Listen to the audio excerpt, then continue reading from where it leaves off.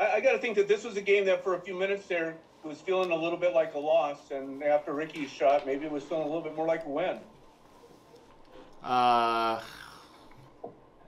yeah, I mean that it's it doesn't feel like anything until the end. I guess it's uh, for me. Um, it's when we're in the game where Ducking any sense. Sorry, can we unmute? Yeah, yeah, I got it. I got it. We're good. Um, so I was saying is it, it it doesn't really feel like anything really till the end. It's obviously there's a stretch there where you're just trying to problem solve and you're trying to figure the best way to create some chances. We had an an extraordinary amount of possession. We were moving them around. We were getting into into final actions, but we weren't turning final actions into great chances um, as often as we would have liked. Uh, so uh, when we give up the second goal, uh, ridiculously, uh, we we shifted a little bit into two forwards, went to a three-five-two, just tried to um, yeah, just tried to push some numbers forward and tried to to turn some of those possessions into into some tacks, and you know ultimately at the end of the day, Riqui made a made a hell of a play, and uh, that became the difference. But we, for as much of the ball and as much good movement and ball circulation, I think we should have had a few more really good looks on the goal. We, we shouldn't have had to score two two blinders. I think we should have scored some other goals that were. Um, weren't necessarily world class goals, but world class team goals because we I thought we were playing fantastic through large stretches of the game, both with and without the ball. Now we've got uh, two starts from Riqui and two exquisite plays uh, for goals. Just in what ways is he transforming you guys? Yeah, again, it's you know it's his mobility, it's his ability to find spaces, find gaps, play on the move, pick up the ball, kind of glide into new areas, play off of people, get the ball back. It just keeps the tempo of the game kind of flowing all the time. Obviously, he's very smart about positioning himself, when to play in one touch, when to take more touches than he than. Uh, and he just has you know a unique ability just to slide through spaces and eliminate kind of either eliminate guys or get the game into a new area so that we can move the ball. Right? There's a for us.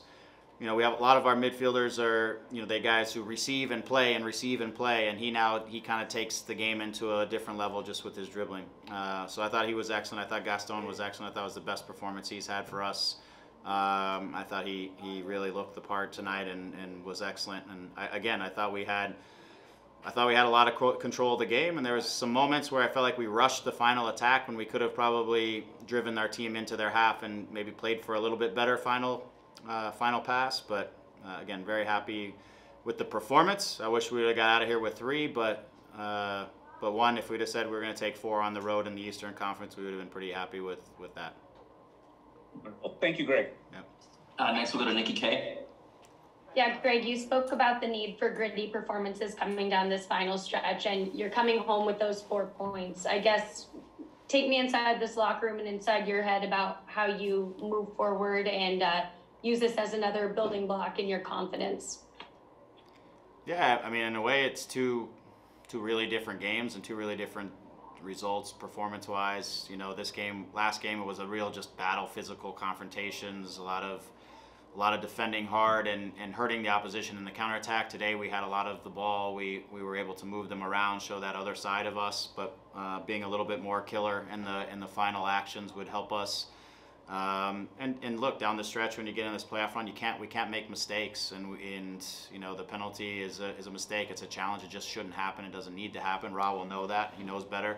Um, but when these games are tight like this, uh, and against two good teams and teams that you know who have guys who can make a difference, you just can't you can't give anything away. And and today we we did on the second one, but the, the determination, the togetherness. Um, that came out of this trip and the grouping. The, the again the next step of getting Gaston in, inserted into the team, getting Riqui into the team. Uh, you know, th- those have been all positives for us on this trip, and and uh, you know we take it home, and now we we defend our our stadium and, and, with our fans behind us. I thought the effort was was great on this tour, and like I said, we got two very different results in two different very two different ways, which uh, which you need to do down the stretch. You need to do uh, when you're on the road. So you know we're going to try to take the performances and and get three points on the weekend now. And what did you get from Douglas Costa tonight? Yeah, I, I also thought he had arguably his best game with us. Uh, just consistent within the team. Uh, both hard work on an attack. I thought he was very, very good on the defending side for us. Uh, reliable.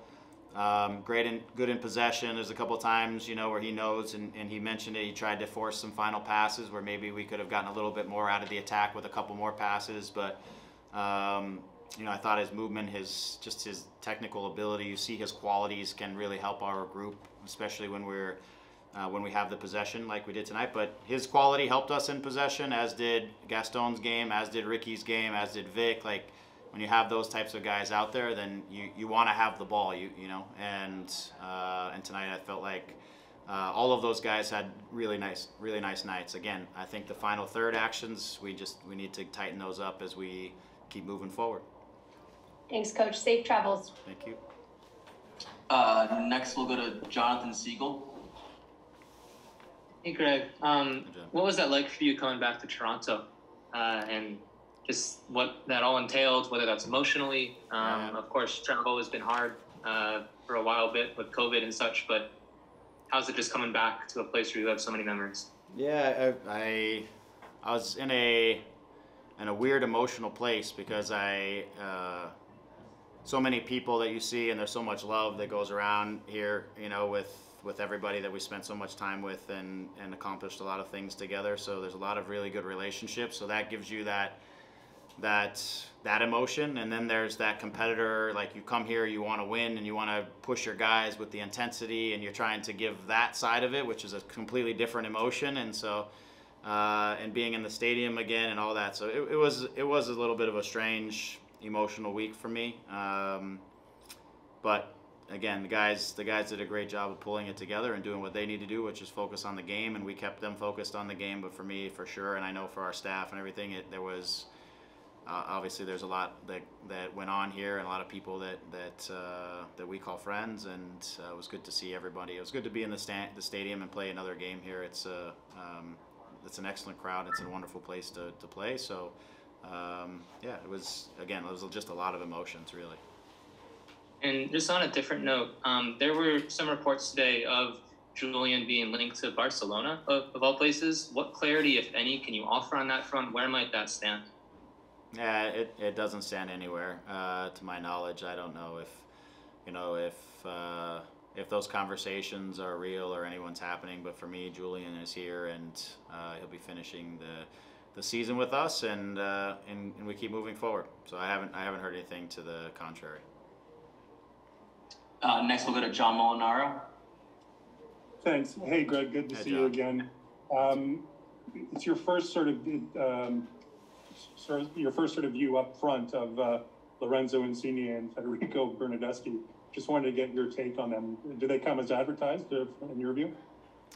Yeah, I mean, two two very good players. You know, Insigne in the second half was right in front of me, so I had a I had a good view of him and his his ability to accelerate and get into the next line and, and again pick up the ball and, and change the speed of the game is impressive. Uh, and you know, he was able to do that and kind of eliminate some of our guys, but on the run also just you know play passes. You see his qualities, um, and so it's just you know, those are very good players. Obviously, we were trying to do our best to keep him from cutting inside, getting on his right foot, looking at the goal, anything to to keep him as neutral as possible. Um, but again, he has just that ability to, to find space, pick up the ball, and then accelerate the game. And uh, so that was uh, it was in, it was great to see, just from a from a perspective of the fan. But I thought our guys did a pretty nice job of, of managing the situation and dealing with them. And Bernardeschi does similar types of things.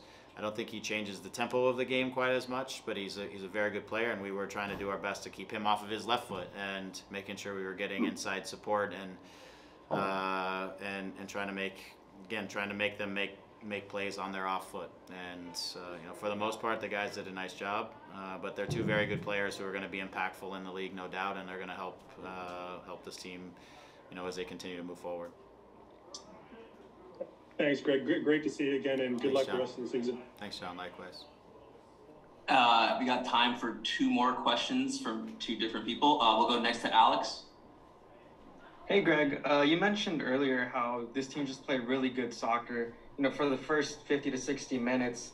Um, for you, how important is it to see what you're envisioning with this team at this late stage of the season and being able to go on a run to finish off the year and hopefully into the playoffs?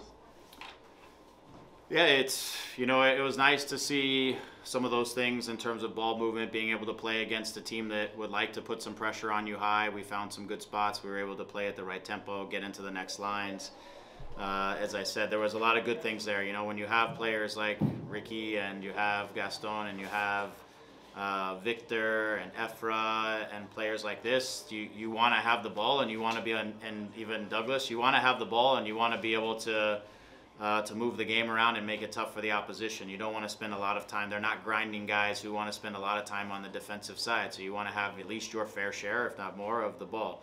Uh, and so tonight, I thought a lot of those things, at least in the build-up and moving into kind of the destabilization phase, a lot of that was very good. But we didn't we didn't do as well as I, I think we will as we get we get a little bit smoother maybe with some of these different personalities on the field together and in creating the clear final actions that I thought might have been there for us with either a little more patience or just a little bit more um, just an extra run or just a little bit different weight of a pass or things like that that hopefully will will keep growing as as we move down the stretch. Uh, the other thing I would say is not every game looks like this. You know, some games look like the one the other day, and that was just a just a physical, in your face, highly competitive game, and we we punished them in the transition and made them pay. And so you have to win games sometimes in different ways in this league. And uh, you know, tonight we got a draw and played one way with the ball so much, and the other night in a tough environment we didn't have the ball as much, but we still managed to we managed to play that way and get a win. And that's that's important down the stretch as you move towards the playoffs and and um, yeah, so we'll see. We'll see how. Hopefully, when we get home, it'll look a little bit more like uh, where we have the ball and we can we can punish the opposition a little bit better than we did tonight. Thank you, Greg. Safe travels. Thanks. And last question we'll go to Josh. Hey, Greg. Um, just real quickly, does does this feel a little bit like before the international break? Some of the consistency, some of the consistency across multiple games. Um, does it feel different? Yeah, again, I mean, I, I agree with, with that statement. We, we didn't give up many chances tonight. Bondi didn't have to do a whole lot. You know, we did a good job of protecting our box and protecting our goal. And even though they have some really high quality players, we didn't give them many good looks at all. And uh, so I thought the defending side of things was sound. I thought there was a lot of maturity uh, in the way just the group played. Um, you know, we were a little unfortunate on the first goal. Maybe not to. We got kind of a nick on the ball that I think maybe we took it away from a clearance, but. But by and large, over the course of the game, I thought it was a very mature, composed, controlled performance that, again, just lacked a little bit in that final third at times.